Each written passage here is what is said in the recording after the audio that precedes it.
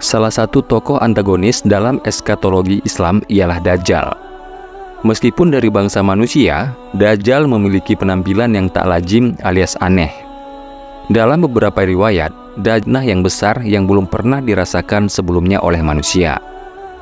Berdasarkan hadis Rasulullah Shallallahu Alaihi Wasallam, Dajjal mendatangi semua mata air yang ada di dunia ini dalam kurun waktu hanya 40 pagi. Meskipun demikian, ada beberapa wilayah yang terdapat mata air namun tidak bisa didatangi oleh Dajjal. Rasulullah Shallallahu Alaihi Wasallam mengingatkan tentang fitnah Dajjal yang akan datang pada hari akhir kelak. Dajjal mendatangi berbagai tempat mata air kecuali tempat-tempat yang disebutkan Nabi Shallallahu Alaihi Wasallam sebagaimana dalam hadis berikut ini.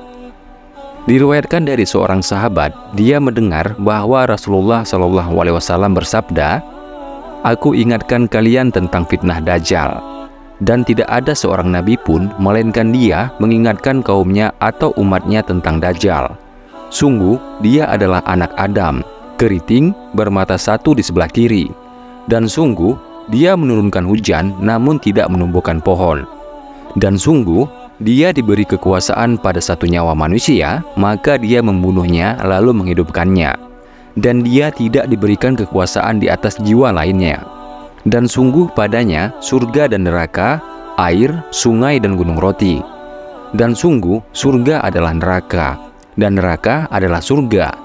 Sungguh dia ada di antara kalian selama 40 pagi, di mana dia mendatangi semua mata air dalam 40 pagi itu, kecuali empat masjid, yaitu Masjidil Haram, Masjid Nabawi, Bukit Sinai, dan Masjidil Al-Aqsa. Jika dia muncul di tengah kalian dan menyerupai Allah, maka ketahuilah bahwa sesungguhnya Allah tidak buta sebelah. Hadis riwayat Ahmad dan Ibnu Abi Saibah. Dalam Sahih Muslim disebutkan tentang tanda-tanda datangnya hari kiamat. Di antaranya ialah kemunculan Dajjal dan matahari yang terbit dari barat.